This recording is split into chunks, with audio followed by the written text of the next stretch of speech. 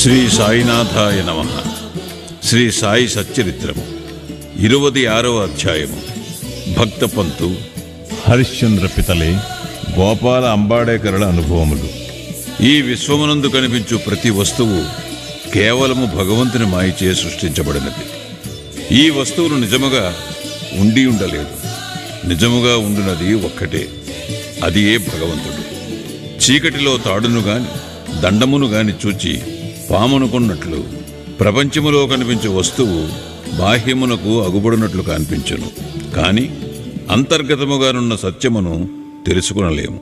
సద్గురువే మన బుద్ధి అను అక్షులను తెరిపించి వస్తువులను సరిగా చూచినట్లు చేయును. మనకు అగుబడినది నిజస్వరూపము కాదని గ్రహించేదము.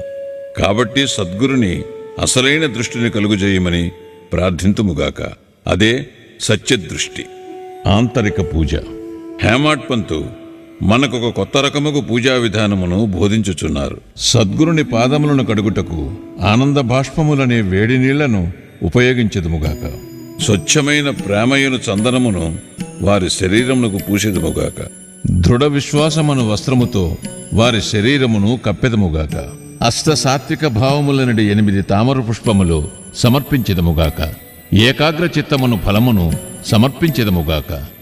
భావమును బుక్క వారి శిరముపై జల్లి భక్తి అనే మొలత్రాడును కట్టెదుముగాక. మన శిరస్సును వారి బొటన వ్రేళ్ళపై నుంచెదుముగాక. సద్గురుని ఈ ప్రకారముగా నగలతో అలంకరించి మన సర్వస్వమును వారికి సమర్పించదముగాక. అట్టి ఆనందకరమైన పూజ చేసిన పిమ్మట ఇటులో ప్రార్థించెదముగాక. మా మనస్సును అంతర్ముఖము చేయుము. దానిని లోపల వైపు పోవున్నట్లు చేయుము. నిత్యానిత్యములకు గల తారతమ్యమును తెలుసుకుని శక్తి దయచేయుము. ప్రపంచ వస్తువులందు మాకు గల ఆసక్తిని పోగొట్టి మాకు ఆత్మ సాక్షాత్కారము కలుగునట్లు చేయుము. మేము మా శరీరమును ప్రాణమును సర్వమును నీకు సమర్పించదము. సుఖదుఖానుభవములు కలుగకుండునట్లు మా నేత్రములు నీవిగా చేయుము. మా శరీరమును మనస్సును నీ స్వాధీనమందుంచుకొనుచు నీ ఇష్టము వచ్చినట్లు చేయుము. మా చంచల మనస్సు నీ పాదముల చెంత విశ్రాంతి పొందుగాక. ఇక ఈ అధ్యాయములోని కథల వైపు మరలదుము. భక్త పంతు. ఒకనాడు పంతు అను భక్తుడు మరొక సద్గురుని శిష్యుడు అదృష్టవశమున సిరిడీకి వచ్చాను. అతనికి షిరిడీకి పోవు ఇచ్చ లేకుండెను. కాని తానొకటి తలిచిన దైవం ఇంకొకటి తలుచునందరు. అతడు బీబీ అండ్ సిఐ రైల్వేలో పోవుచుండెను. అందులో అనేకులు స్నేహితులు బంధువులు కలిసిరి. వారందరూ షిరిడీకి పోవుచుండిరి. వారందరూ తమ వెంట రమ్మని కోరగా అతడు వారిని కాదనలేకుండెను. వారు బొంబాయిలో దిగిరి పంతు విరార్లో దిగెను. అచ్చట తన గురువును దర్శించి షిరిడీకి పోవుటకు అనుమతి పొంది ఖర్చుల నిమిత్తము డబ్బును కూర్చుకుని అందరితో కలిసి షిరిడీకి వచ్చాను. అందరూ ఉదయమే షిరిడీ చేరి పదకొండు గంటలకు మసీదుకు పోయిరి. బాబా పూజ కొరకు చేరిన భక్తుల గుంపును చూచి అందరూ సంతసించిరి. కాని పంతుకు మూర్ఛ వచ్చి హఠాత్తుగా క్రింద పడెను వారందరూ భయపడిరి. అతనికి చైతన్యము కలిగించుటకు ప్రయత్నించిరి. అతని ముఖముపై నీళ్ళు చల్లగా బాబా కటాక్షముచే తిరిగి వచ్చాను. నిద్ర నుంచి లేచిన వాని వలె లేచి కూర్చుండెను. సర్వజ్ఞుడకు బాబా అతడు ఇంకొక గురువు తాలూకు శిష్యుడని గ్రహించి నిర్భయముగా నుండుమని ధైర్యము చెప్పుచు తన గురువునందే భక్తి నిలుచునట్లా ఈ క్రింది విధముగా పలికాను. ఏమైనను కానిండు పట్టు విడువరాదు నీ గురుని ఎందే ఆశ్రయము నడిపుము ఎల్లప్పుడూ నిలకడగా ఉండుము. ఎప్పుడు వారి ధ్యానమునందే మునిగియుండుము. పంతు ఈ మాటల యొక్క ప్రాముఖ్యమును గ్రహించాను. ఈ విధముగా తన సద్గురుని జ్ఞప్తికి తెచ్చుకొనెను. అతడు తన జీవితములో బాబా చేసిన ఈ మేలును మరువలేదు. హరిశ్చంద్ర పితలే. బొంబాయిలో హరిశ్చంద్ర పితలే అను నాతడుండెను అతనికి మూర్ఛ రోగముతో బాధపడుచున్న కొడుకొకడు గలడు. ఇంగ్లీషు మందులను ఆయుర్వేదపు మందులను కూడా వాడాను కానీ జబ్బు కుదరలేదు. కావున యోగుల పాదములపై పడుటయనే సాధన యొక్కటే మిగిలెను. పదిహేనవ అధ్యాయమందు చక్కని కీర్తనలచే దాసగను బాబా కీర్తిని బొంబాయి ప్రెసిడెన్సీలో వెల్లడి చేసినని తెలుసుకుంటిమి. పంతొమ్మిది వందల పదిలో పితలి అట్టి కథలు కొన్నిటిని వినెను. వాని నుండి ఇతరులు చెప్పిన దాని నుండి బాబా తన దృష్టి చేతను స్పర్శ చేతను బాగుగానట్టి జబ్బులను బాగు చేయునని గ్రహించెను. సాయిబాబాను చూచుటకు మనస్సులో కోరిక పుట్టెను. సర్వవిధములా సన్నాహమై బహుమానములను వెంట తీసుకుని పండ్ల బుట్టలను పట్టుకొని భార్యాబిడ్డలతో సిరిడీకి వచ్చాను. అతడు మసీదుకు పోయాను. బాబాకు సాష్టాంగ నమస్కారము చేశాను తన రోగి కొడుకును బాబా పాదములపై వైచెను. బాబా ఆ బిడ్డ వైపు చూడగానే ఒక వింత జరిగాను. పిల్లవాడు వెంటనే కండ్లు గిర్రున తిప్పి చైతన్యము తప్పి నేలపై పడాను. అతని నోట చొంగ కారెను. అతని శరీరమున చెమట పట్టాను. అతడు చచ్చినవాని వలె పడెను. దీనిని చూచి తల్లిదండ్రులు మిక్కిలి భయపడిరి. అటువంటి మూర్ఛలు వచ్చిచుండెను గాని ఈ మూర్ఛ చాలా సేపటి వరకు ఉండెను. తల్లి కంటినీరు వరదలుగా కారుచుండెను. ఆమె ఏడ్చుటకు మొదలెడెను. ఆమె స్థితి దొంగల నుండి తప్పించుకునవలెనని ఒక గృహములోనికి పరుగెత్తగా అది తన నెత్తిపై పడినట్లు పులికి భయపడి పారిపోయి కషాయవాని చేతిలో పడిన ఆవువలే ఎండచే బాధపడి చెట్టు నీడకు పోగా అది బాటసారిపై పడినట్లు లేదా భక్తుడు దేవాలయమునకు పోగా అది వానిపై కూలినట్లు ఉండెను. ఆమె ఇటు లేచుచుండగా బాబా ఆమెనుటిలో ఓదార్చెను ఇటు లేడవలదు కొంతసేపు ఆగుము. ఓపికతో ఉండుము. కుర్రవానిని బసకు తీసుకొని పొమ్ము అరగంటలో వానికి చైతన్యము వచ్చును. బాబా చెప్పిన ప్రకారము వారు నెరవేర్చిరి. బాబా మాటలు యథార్థములయ్యాను. ద్వాడాలోనికి తీసుకుని పోగానే కుర్రవానికి చైతన్యము వచ్చాను. పితలే కుటుంబమంతయు సంతోషించేరి. వారి సంశయములన్నయు తీరెను. పితలే బాబా దర్శనమునకై భార్యతో మసీదుకు వచ్చాను. వారు బాబా పాదములకు వినయముగా సాష్టాంగ నమస్కారము చేసి వారి పాదములు నొత్తుచూ కూర్చుండెరి. మనస్సులో బాబా చేసిన ఉపకారమునకు నమస్కరించుచుండెరి. బాబా చిరునవ్వుతో ఇట్లనిరి. నీ ఆలోచనలు సంశయములు భయోత్పాతములు ఇప్పుడు చల్లబడినవా? ఎవరికైతే నమ్మకము ఓపిక కలదో వారిని తప్పక భగవంతుడు రక్షించను. పితలే ధనికుడు మర్యాద గలవాడు. అతడందరికీ అపరిమితముగా మిఠాయి పంచిపెట్టాను. బాబాకు చక్కని పండ్లను తాంబూలము ఇచ్చాను. పితలే భార్య సాత్వికురాలు. ఆమె నిరాడంబరత ప్రేమ భక్తులతో నిండియుండెను.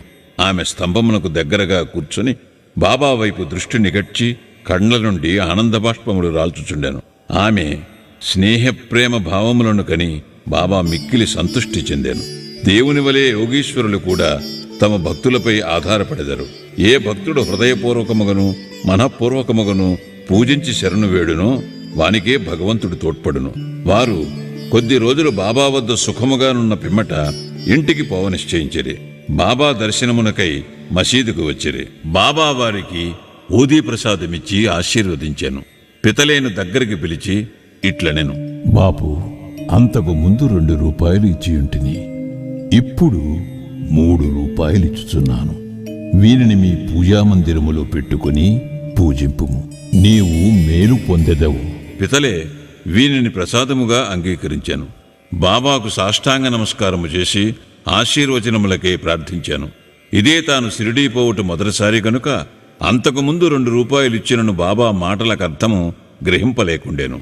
దీనిని తెలుసుకునవలనని కుతూహలపడెను కాని బాబా ఊరకొనెను. స్వగృహమునకు పోయి తన ముదుసలి తల్లికి వృత్తాంతమంతయు చెప్పి బాబా అంతకు ముందు రెండు రూపాయలు ఇచ్చినను అది ఏమి అని అడిగాను.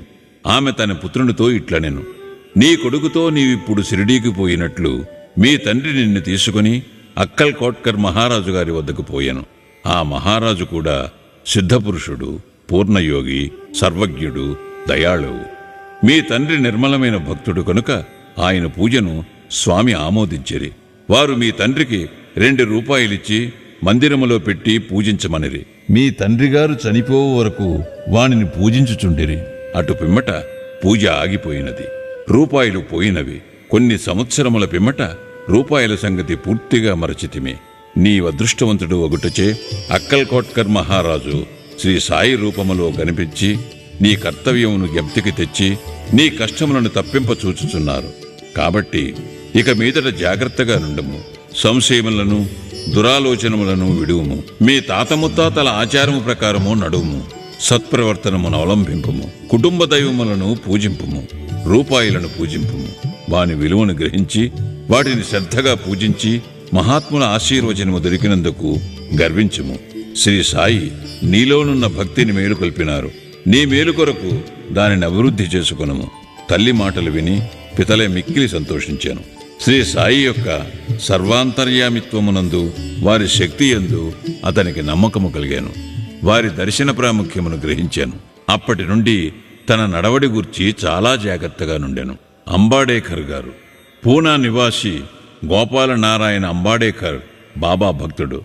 అతడు ఆబ్కారీ డిపార్ట్మెంట్లో పది సంవత్సరములు నౌకరీ చేశాను. ఠానా జిల్లాలోను జవహర్ స్టేట్లోనూ ఆయన ఉద్యోగములు చేసి విరమించుకునేను.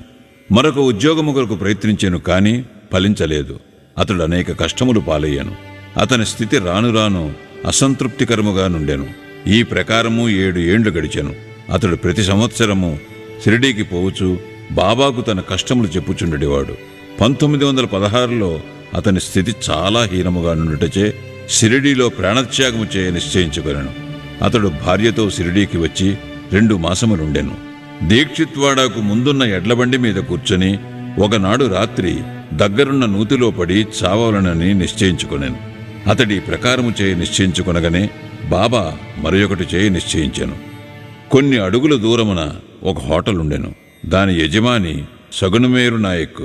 అతడు బాబా భక్తుడు. అతడు అంబాడేకర్ను పిలిచి అక్కల్ కోట్కర్ మహారాజు గారి చరిత్రను చదివితివా అని అడుగుచూ పుస్తకమునిచ్చాను. అంబాడేకర్ దానిని తీసుకుని చదువునించాను. పుస్తకము తెరిచేసరికి ఈ కథ వచ్చాను. అక్కల్ కోట్కర్ మహారాజు గారి కాలములో ఒక భక్తుడు బాగుగానటి దీర్ఘరోగముచే బాధపడుచుండెను. బాధను సహించలేక నిరాశ చెంది బావిలో దుమికెను. వెంటనే మహారాజు వచ్చి వానిని బావిలో నుంచి బయటికి తీసి ఇట్లనెను. గత జన్మ పాపపుణ్యములను నీవు అనుభవించక తప్పదు. కర్మానుభవము పూర్తి కాకున్నచో ప్రాణత్యాగము నీకు తోడ్పడదు. నీవింకొక జన్మమెత్తి బాధను అనుభవించవలను. చచ్చుటకు ముందు కొంతకాలము ఏల ఈ కర్మను అనుభవించరాదు. గత జన్మముల పాపములు ఏల తుడిచివేయరాదు. దానిని శాశ్వతముగా పోవునట్లు చేయుము. సమయోచితమైన ఈ కథను చదివి అంబాడేకర్ మిగులు ఆశ్చర్యపడెను. వాని మనస్సు కరిగాను. బాబా సలహా ఈ ప్రకారముగా లభింపనచో వాడు చచ్చియేయుండును బాబా సర్వజ్ఞత్వమును దయాళుత్వమును చూచి అంబాడేకరుకు బాబా ఎందు నమ్మకము బలపడి అతని భక్తి దృఢమయ్యను. అతని తండ్రి అక్కల్ కోట్కర్ మహారాజు భక్తుడు. కాన కొడుకు కూడా తండ్రి వలె భక్తుడు కావాలనని బాబా కోరిక. అతడు బాబా ఆశీర్వచనమును పొందాను. వాని శ్రేయస్సు వృద్ధి పొందాను. జ్యోతిష్యము చదివి అందులో ప్రావీణ్యము సంపాదించి దాని ద్వారా తన పరిస్థితి బాగు చేసుకునేను. కావలసినంత ధనమును సంపాదించుకొనగలిగాను. మిగతా జీవితమంతయు సుఖముగా గడిపాను. శ్రీ సాయినాథాయ నమ. ఇరవది ఆరవ అధ్యాయము సంపూర్ణము. సద్గురు శ్రీ సాయినాథార్పణమస్తు. శుభం భవతు.